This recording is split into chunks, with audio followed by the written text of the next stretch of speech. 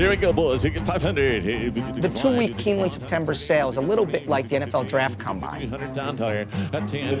Through the course of this sale, I will truly feel every high and low that I can.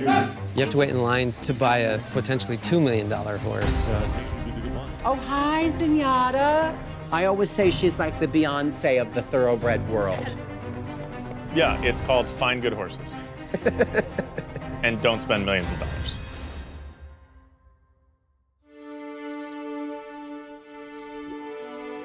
When a horse wins the Breeders' Cup Classic, he puts his name on a list of all time greats. It's that an owner and a trainer can look at that trophy and can say, I won one of the most prestigious races in the world. There's also value in the breeding shed, which can escalate dramatically once a horse wins a race like the Classic. It really gets the attention of breeders, not just in the United States, but around the world.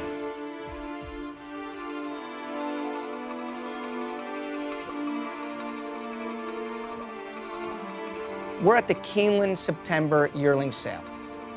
There's a lot of different consigners that will sell horses at these sales. You have the biggest consigners, Claiborne, Denali, Lane's End, Taylor Made. They catalog 4,000 yearlings every year. About 3,000 of them are sold. There's about 20,000 horses born a year. Only one is a Breeders' Cup Classic winner. People here are buying the dream. There's only one horse every year that can earn that $6 million purse, but more importantly, that creates the stud value that could be worth tens of millions of dollars. Nobody really knows what's the makeup of the next great stallion. So we're searching for it. It's like a needle in a haystack. We're both a buyer and a seller, or the bloodstock agent. And so, uh, pretty much, I'm a one stop shop in terms of the work that we do at Bloom Racing. Morning. Good, yourself? You hear that saying, I gotta find the diamond in the rough, but a much better analogy, really, is trying to find that diamond in the diamond. Because if you think about it, these beautiful thoroughbreds are all diamonds. And so, um, finding that diamond that fits my budget, that, that's the trick to all of this, and you're out there looking at thousands of horses doing it. Hey, Mark, how you doing?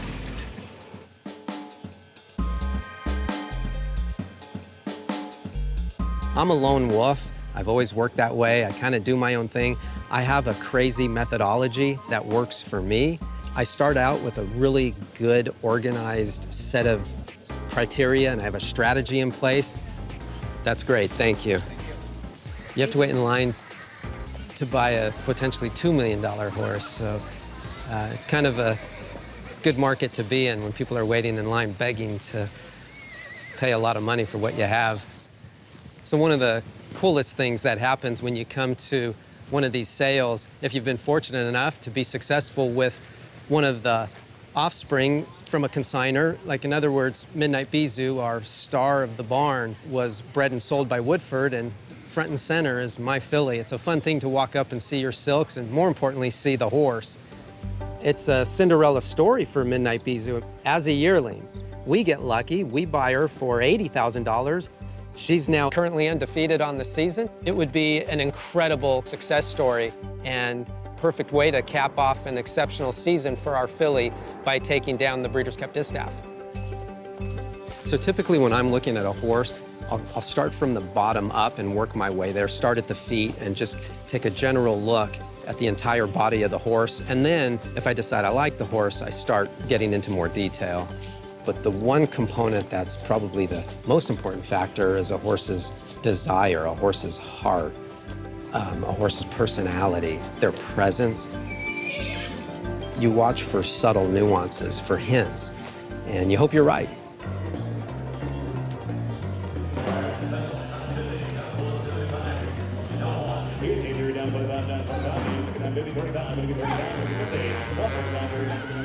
The two-week Keeneland September sale is a little bit like the NFL Draft Combine. There's multiple rounds in the NFL Draft, six, seven, eight rounds.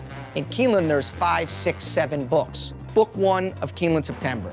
These are the best bred, best looking, very much like the first round in the NFL draft, the best athletes. So those athletes would generally cost the most to sign. Our athletes would cost the most to buy. Everybody's looking for an edge. Everybody's looking to try to measure something that we can't see. And everybody believes their team's the best. And unfortunately, this game is so difficult for a lot of different factors that you can't control.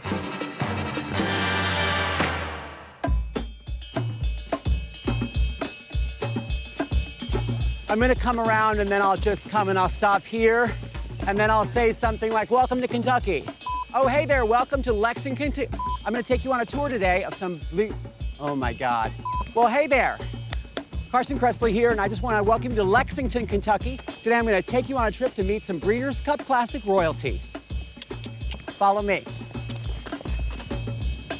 We're gonna go kind of uh, behind the scenes and see where some of these amazing racehorses live, where they grew up. Um, it's like the E True Hollywood story um, without the car crash. I like to think of myself as a horseman. I've been doing this since I was a, a child, literally. The type of horses that I have, which are American Saddlebred show horses, which are actually really closely related to thoroughbreds. I love horse racing because it combines everything that I love. Horses, amazing, beautiful. Fashion, I mean hats and ties with jockeys on them. And then the third thing I love is bourbon. We are actually um, headed to Lane's End, which I've never really gone behind the scenes of a major thoroughbred farm, so it's pretty exciting stuff. So, this is a real treat, so thank you so much. Oh, not Oh, at all. Maybe I should not walk on the grass. That's probably bad. it's probably fancy here. Um, we'll just go now. Who are we seeing today? We're seeing Accelerate today, Okay. and Accelerate won the Breeders' Cup Classic. And he won just last year, right? He did. Yeah. Side, they're coming to the wire,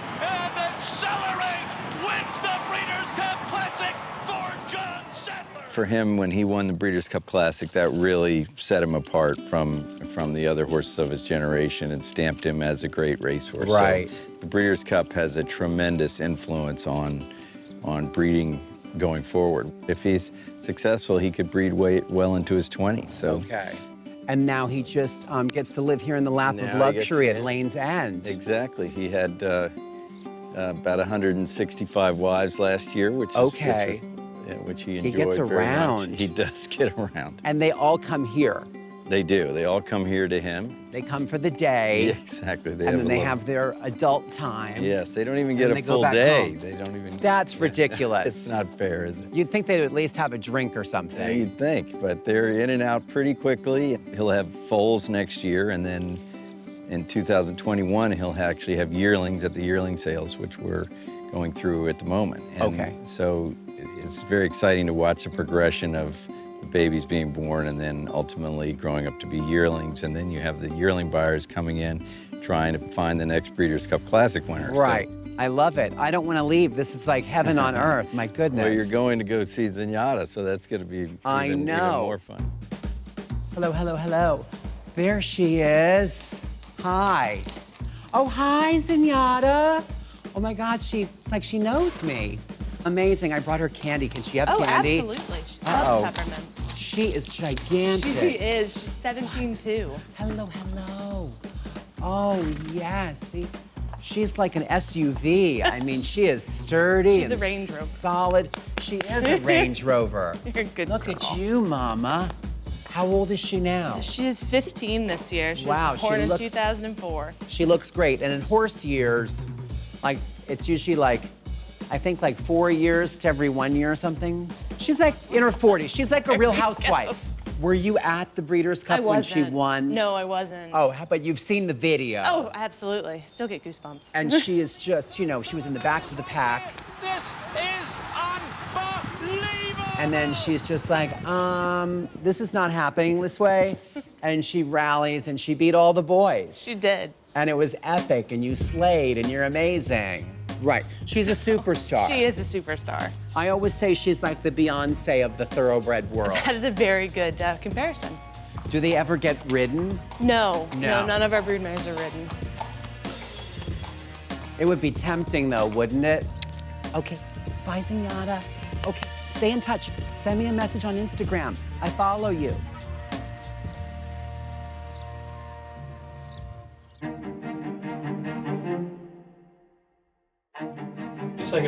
Like an organizational mm-hmm. philosophy that you guys. Yeah, it's called Find Good Horses. and don't spend millions of dollars. Right. Just go inside and sit down. Our good luck spot. What we do is horse syndicates. So rather than own 100% of something, you own 5%. You spread your risk, and with that, you have more chances for success. And that's that's really important. We sell a dream. We sell an experience. Well, let's go win a grade one. Come on. Come meet the jockey. We've taken it to the everyman. We have so many different people in our partnerships from all walks of life lawyers, plumbers, doctors, uh, tax accountants. When they come to the races, they have one common thing, and that's their horse that they own.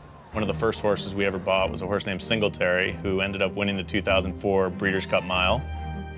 Cut to video of him winning the mile, please. Singletary wins it. A perfect ride there for Singletary. There's been great horses purchased here for $15,000. If you just get lucky and find that one special horse, it can change your life. I think she's kissing me. I think she likes my beard. We have over 500 uh, partners, clients, friends. Uh, what else do we do?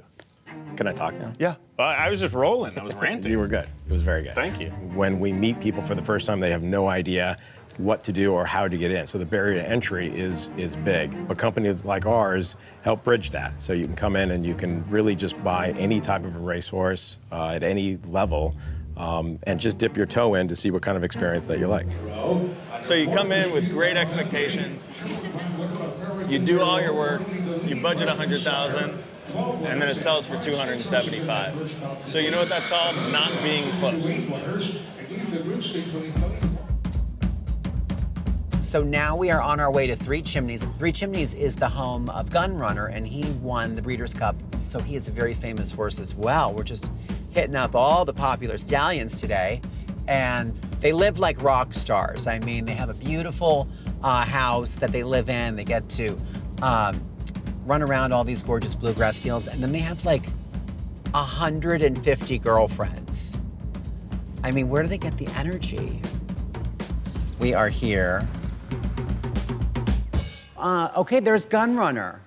Yeah, are you basically his his primary caretaker? No, I am the stallion manager. Okay. So Sounds like a good job. I'd like to be a stallion manager, Sandy. It's been a great job, yes. Yeah. for a long time. Maybe So we can share some tips Yeah, later. There we go. And then, so when it's time for him to do his job, then he comes over. You take him right over here. we take him right in there. The mares will be waiting for him in there when we um, in the breeding shed. It's just like that movie with Dolly Parton and Burt Reynolds. well, almost. this is a gorgeous breeding shed. I don't think I've been in a breeding shed before, but this is really nice. And it has spongy flooring. Yeah. Oh yeah, safe safety first. Yeah, I'm gonna get this from my um, house. what is that? It's a, basically a breast bar when when Okay. in in the act of breeding, Right. sometimes the mare gets pushed forward The by mare the is stallion, here. and this way she can hang her head up here and be Right, comfortable while her- right. her, chest is hitting against the breast bar there. and this is a flat platform here. If Right. the stallion and the mare of a similar size, Mhm. there's a little bit of a depressed one there. So if the mare is bigger or taller than the stallion, you put her in a little bit of a lower spot. So so the mechanics are a little So the better, stallion doesn't get I a mean. complex. Yeah. So there's about 170 little gun runners running around this year. Yeah, they're all six or eight months old. When will they start racing? When they're two? They'll start racing in 2021 as two as two year olds in 2021. Great. Yeah. Okay, we just have to wait around. Yeah. We should probably have a martini or something till then. Lexington is a very charming city. There's a lot of amazing restaurants. When I'm in town for anything horse related, I always try to go to Dudley's. So we're going to Dudley's. Hello, hello. Hi, how are you, I'm Carson? Carson. Good to meet you, Mark. Mark, nice to meet you. Thank you. The hot brown obviously is the quintessential Kentucky culinary delight. It is. So I thought maybe you could tell us what it is and show us how to make one. Where did the hot brown come from? And it's like a Lexington thing, right? Actually from Louisville, the Brown Hotel in Louisville. Okay. Yeah, I've only ever seen a hot brown in Kentucky, either in Lexington or Louisville. So Yeah. I feel like we're making a real Kentucky Oh. uh, treat that nobody else in the world gets to have. Yeah, this is this is special. Grilled country, Country ham. ham and, and turkey. So now we're getting healthy with Yeah. tomato slices. Our vegetables. Put a little of the Mornay on top, and now we're gonna toast it to really Oh, get this all golden So we're gonna broil it all. Yeah. And then if the cheese wasn't enough, we're gonna garnish with Just a little bacon. some bacon. We'll just put a little salad on there just to make sure. It's we're, important to get your we got, we have our vegetables and we got our salad. Coming through, hot brown. Anyone order the hot brown? My friend Zenyatta's on the wall. I know her. And there's bourbon.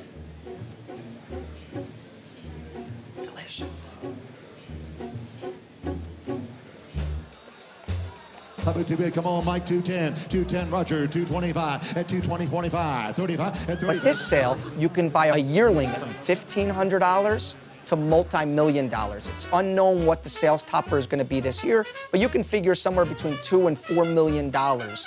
Obviously, this week is high risk and high reward.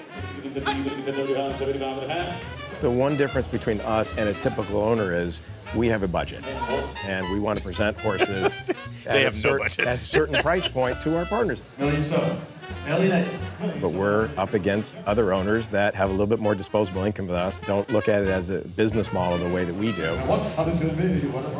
That's my favorite thing when they say, "What a bargain!" Oh, really? This horse is actually more valuable than some countries. Should we get in?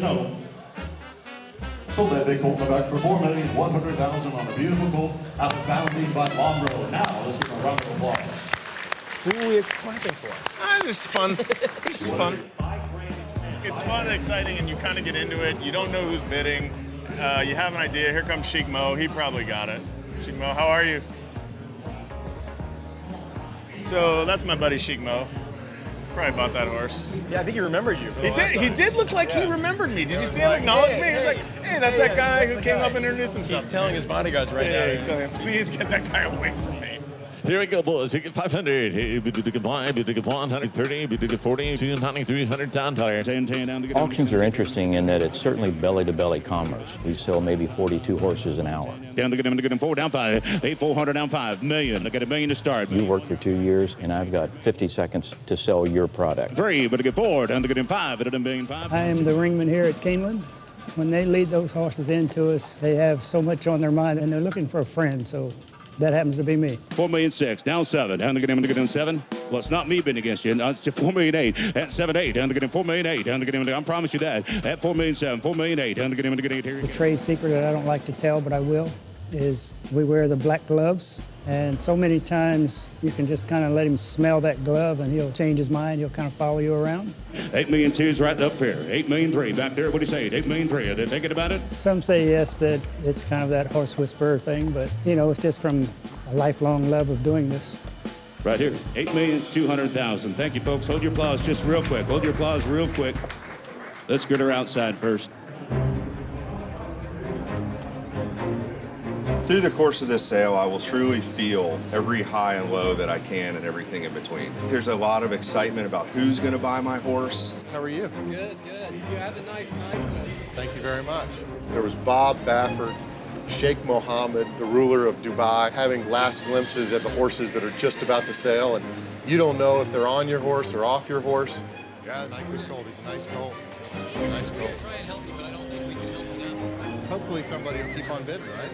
At the Keeneland sale, we'll sell 20 yearlings in total, and and we'd be a small to medium-sized outfit selling our own horses. Oh, there we are. Guess I'll go stand with my horse. 299 reserve, anything above that sold. Hip number 405, consigned by Ashview Farm. Brian and Gray Lyster, age of the Bay Colt by Kentucky Derby winner Nyquist. Oh my, who got 500? 500, and everything 500, 3, 3, and everything, 3. Honestly, I feel pretty worn down and beat up. At two, now 25, put him at 25, where 25, dude, 20. Your body's tired from being out here all day.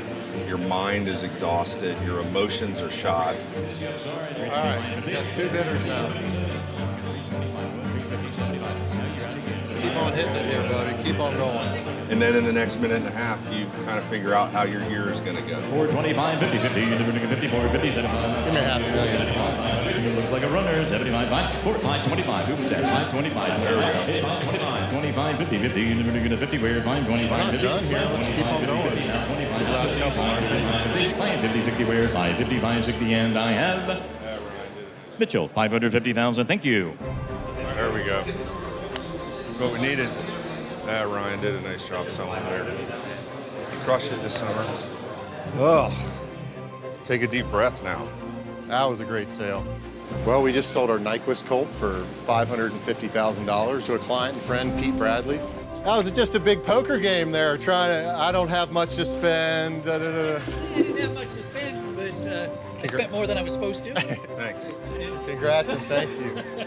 what a horse, though, huh? Yeah. And what a star up top. We're all really excited. And now we're going to do this for 12 or 13 more days. It's a competitive market here. You know you're bidding against some very powerful people. People are paying $8 million for a yearling. Those same buyers are looking at a lot of the horses I'm looking at. It's not worth that. 135, you're turning 135, dude. Who said five? Now 40, there you go, 140. You want to get five? 150, At the end of the day, I got my butt kicked all day long. It's easy to get dejected, especially in the moment. You feel like I'm never going to be able to buy the horse that I want, but you got to stay disciplined and stay the course. One way or another, it always works out.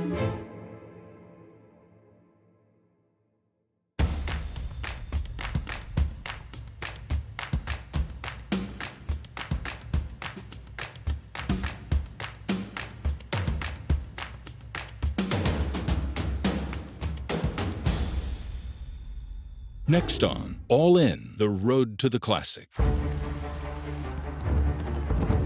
Five weeks away from the Breeders' Cup Classic. The best racing in the United States is here. The atmosphere, the horses. We have six horses in the Awesome again. There's one heavy favorite, McKinzie, trained by Bob Baffert.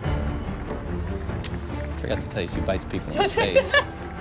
It would be incredible to finish off as undefeated, and I try not to think about that right now. They go.